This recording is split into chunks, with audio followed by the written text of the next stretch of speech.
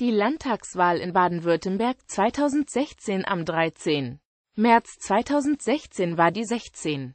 Wahl zum Landtag von Baden-Württemberg. Am selben Tag fanden auch Landtagswahlen in Rheinland-Pfalz und Sachsen-Anhalt statt. Infolge der Wahl in Baden-Württemberg wurde eine Koalition aus den Grünen und der CDU gebildet, die erste Koalition dieser Art auf Landesebene.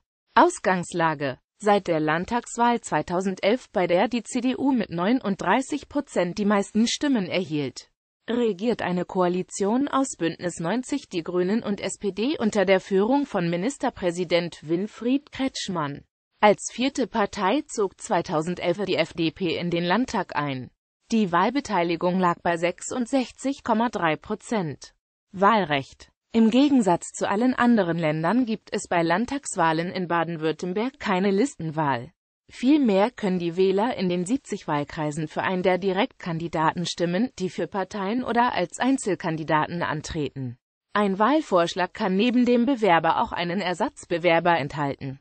Für die Verteilung der Mandate werden für jede Partei die Stimmen zusammengezählt, die auf ihre Kandidaten entfallen. Berücksichtigt werden bei der Verteilung nur diejenigen Parteien, auf die mindestens 5% der Stimmen entfallen. Die 120 Mandate werden proportional auf diese Parteien verteilt. Danach werden für jede Partei ihre Mandate auf die vier Regierungsbezirke verteilt. In den Wahlkreisen gewählt ist derjenige Kandidat, auf den die relative Mehrheit der Stimmen entfällt. Erhält eine Partei in einem Regierungsbezirk mehr Mandate, als sie dort erst Mandate gewonnen hat, werden die übrigen Sitze ihren in diesem Regierungsbezirk nicht direkt gewählten Kandidaten in absteigender Reihenfolge der Stimmenanteile im Wahlkreis zugeteilt. Erhält eine Partei dagegen mehr Erstmandate, als ihr eigentlich Mandate zu stehen, erhöht sich die Anzahl der Mandate insgesamt entsprechend. Endgültiges Ergebnis Bei dieser Wahl wurden die Grünen zum ersten Mal in einer Landtagswahl stärkste Partei während CDU und SPD jeweils das schlechteste Ergebnis in Baden-Württemberg erzielten. Nach großen Verlusten ist die CDU mit 27,0 Prozent erstmals nicht die stärkste Fraktion im Landtag. Die Grünen legten deutlich auf 30,3 Prozent zu und bilden nun die stärkste Fraktion. Die AfD erreichte 15,1 Prozent der Stimmen und ist somit die drittgrößte Fraktion. Die SPD stürzte auf 12,7 Prozent der Stimmen ab, während die FDP sich leicht auf 8,3 Prozent verbesserte. Die Grünen konnten 46 von 70 Wahlkreisen gewinnen, die CDU nur noch 22 statt 60 und die SPD verlor ihr letztes Direktmandat in Mannheim an die AfD, die auch den Wahlkreis Pforzheim eroberte und damit über zwei Direktmandate verfügt. Die bisherige Regierungskoalition aus Grünen und SPD hat keine Mehrheit mehr, weshalb die Grünen sowohl mit SPD und FDP als auch mit der CDU sondierten. Eine Ampelkoalition lehnte die FDP wegen zu großer Differenzen ab. Die von der FDP favorisierte schwarz-rot-gelbe Koalition wurde von der SPD ausgeschlossen.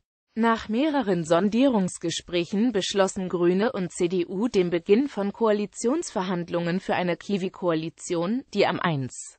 April 2016 begannen. Am 1. Mai stand der grün-schwarze Koalitionsvertrag. Am 12. Mai wurde Winfried Kretschmann mit 82 Stimmen erneut zum Ministerpräsidenten gewählt. Er erhielt sieben Stimmen weniger, als die Regierungskoalition über Sitze verfügt. Kandidaturen. Wahlvorschläge mussten bis zum 59. Tag vor der Wahl 18 Uhr bei den jeweiligen Kreiswahlleitern eingereicht werden. Pro Wahlvorschlag waren 150 Unterstützungsunterschriften erforderlich. Davon ausgenommen waren die Parteien, die vor der Wahl im Landtag vertreten sind.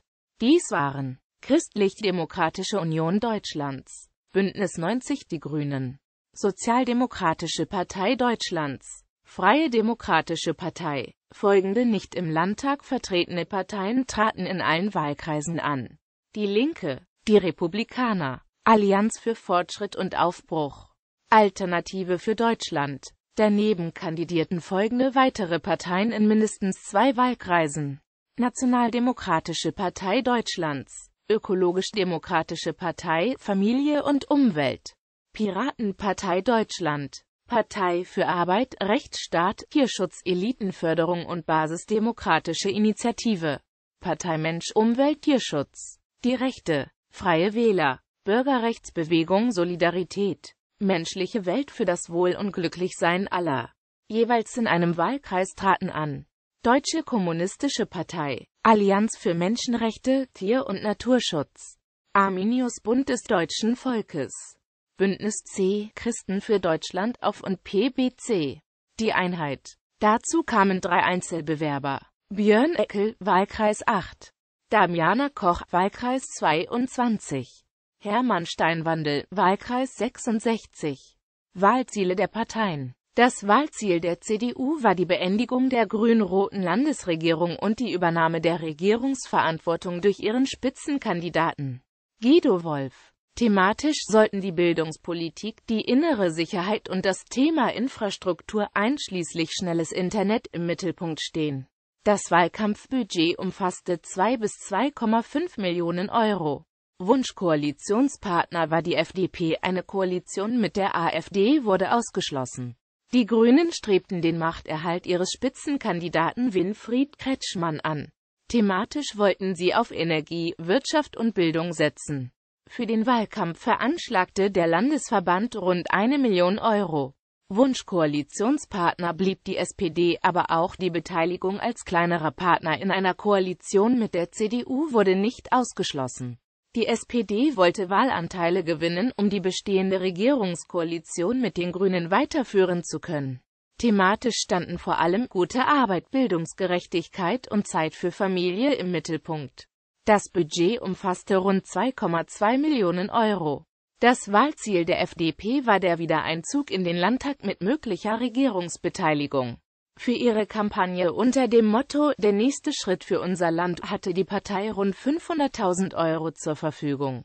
Thematisch standen eine bessere Bildung, die Stärkung des Wirtschaftsstandorts und die Verbesserung der Mobilität im Fokus. Die AfD strebte den erstmaligen Einzug in den Landtag an. Neben Bildung, Sicherheit und Energiewende sah ihr Spitzenkandidat Jörg Meuthen die Flüchtlingspolitik als wichtiges Wahlkampfthema. Umfragen, Fernsehdebatten. Aufgrund der Wahlergebnisse bei der letzten Landtagswahl sah der SWR aus rechtlichen und journalistischen Gesichtspunkten von einem klassischen Fernsehduell mit den Spitzenkandidaten der beiden stärksten Parteien ab.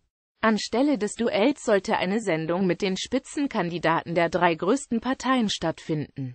Dabei wäre die im Landtag vertretene FDP von der Sendung ausgeschlossen worden. Der FDP-Spitzenkandidat Hans-Ulrich Rühlke drohte deswegen im Juli 2015 mit einer Klage vor dem Staatsgerichtshof.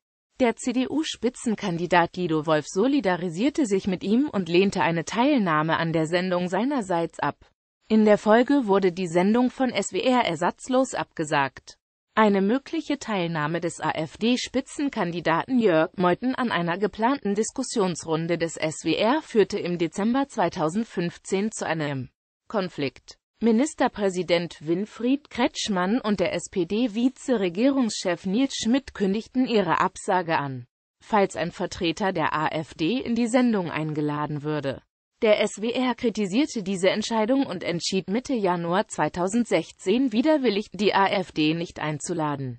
Diese Entscheidung wiederum wurde als ein Resultat einer Erpressung der Medien durch die Politik kritisiert und als schädlich für die Demokratie bezeichnet. Nach einem öffentlichen Appell des SWR an alle Parteien, sich der öffentlichen Diskussion zu stellen, sagten Kretschmann und Schmidt ihre Teilnahme Ende Januar dann doch zu. Am 14. Januar 2016 fand im SWR ein als Streitgespräch bezeichnetes 45-minütiges TV-Duell zwischen Kretschmann und Wolf statt, das von Clemens Bratzler moderiert wurde. Zu einem weiteren 90-minütigen Duell kam es am 20. Januar. Es wurde von Wieland Backes und Michael Zeiss moderiert. Zwischenfall zu Beginn des Wahlkampfes wurde in Karlsruhe der Mitarbeiter einer von der AfD beauftragten Werbeagentur von Unbekannten mit einer Pistole beschossen. Siehe auch Kabinett Kretschmann II Landtagswahlen in Baden-Württemberg. Liste der Landtagswahlkreise in Baden-Württemberg. Liste der Mitglieder des Landtags von Baden-Württemberg